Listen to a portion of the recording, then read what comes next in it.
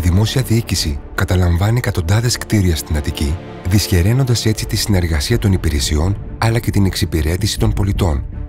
Σχεδόν τα μισά των κτίριων αυτών ανήκουν σε ιδιώτες, με το ετήσιο λειτουργικό κόστος να βαραίνει τον κρατικό προπολογισμό και τον φορολογούμενο.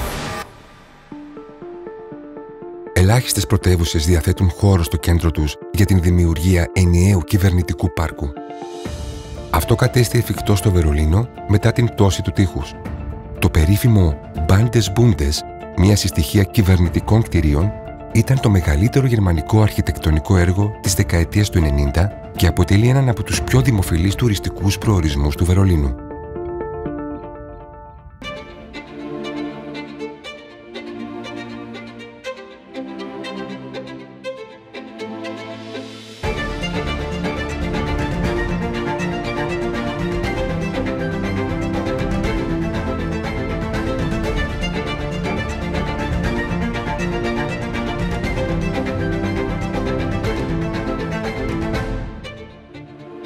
Εργοστάσιο της Πυρκάλ στεγάζεται από το 1874 σε περιφραγμένη έκταση 155 στρεμάτων, στην οποία υπάρχουν 91 κτίρια.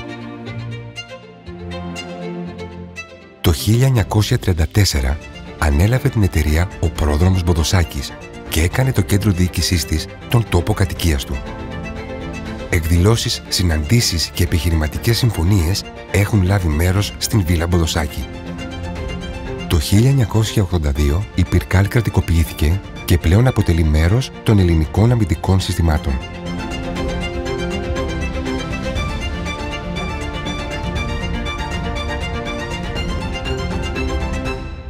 Το μεγαλύτερο πρόβλημα του Δήμου είναι η έλλειψη χώρων πρασίνου, ε, όπως επίσης και η έλλειψη χώρων ε, πάρκινγκ, ειδικά μετά την έλλειψη του μετρό. Οι δημότε και κάτοικοι αυτού του Δήμου εδώ και χρόνια οραματίζονται την απομάκρυνση της Πυρκάλ, το ζητούν επίμονα έτσι κι αλλιώς χρόνια τώρα. Έχει ψωθεί ένα τεράστιο τείχος μέσα στην πόλη τους, το οποίο έχει χωρίσει ε, την πόλη στα δύο και αισθητικά αλλά και κοινωνικά. Όπως επίσης έχουν και το φόβο μιας τυχόν έκρηξης, διότι μέσα στον ιστό της πόλης παράγεται πολεμικό υλικό, με όποια συνέπειες αυτό έχει αν γίνει κάποιο ατύχημα. Με σεβασμό στο περιβάλλον, προχωράμε στη μεταφορά των παραγωγικών μονάδων της Πυρκάλ εκτός του αστικού ιστού σε νέες εγκαταστάσεις με σύγχρονες υποδομές. Με αυτόν τον τρόπο ενισχύουμε την αυξανόμενη δυναμική και τις αναπτυξιακές προοπτικές των ελληνικών αμυντικών συστημάτων μέσα από επενδύσεις και δημιουργούμε νέες θέσεις εργασίας. Το όραμά μας, ένα κυβερνητικό πάρκο που αναβαθμίζει τη δημόσια διοίκηση. Βελτιώνει έτσι τη σχέση του πολίτη με το δημόσιο λειτουργό. Θέλουμε ένα κυβερνητικό πάρκο που συγκεντρώνει πολλές υπηρεσίες του δημοσίου και έτσι βελτιώνει τη διαλειτουργικότητά του, ενώ δημιουργεί ένα σύγχρονο φιλικό χώρο για τον πολίτη. Συνεχίζουμε τη βιομηχανική παραγωγή των ελληνικών αμυντικών συστημάτων εκτός αστικού ιστού σε σύγχρονες εγκαταστάσεις στο Λαύριο. Αποδίδουμε ταυτόχρονα στους κατοίκους το ζωτικό χώρο που τους ανήκει στην καρδιά της πόλης τους που τώρα δεν μπορούν να τον απολαύσουν.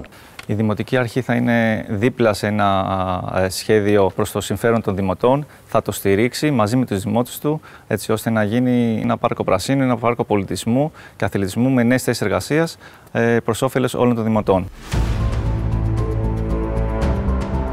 Το όραμα της κυβέρνησης για την έκταση της Πυρκάλ προβλέπει τη μεταστέγαση εκεί εννέα Υπουργείων και εποπτευόμενων φορέων, συμβάλλοντας σε αναβάθμιση του περιβάλλοντος εργασίας και ταυτόχρονα στη σημαντική μείωση του ετήσιου κόστους με δημοσιονομικό όφελος 1 δισεκατομμυρίου ευρώ.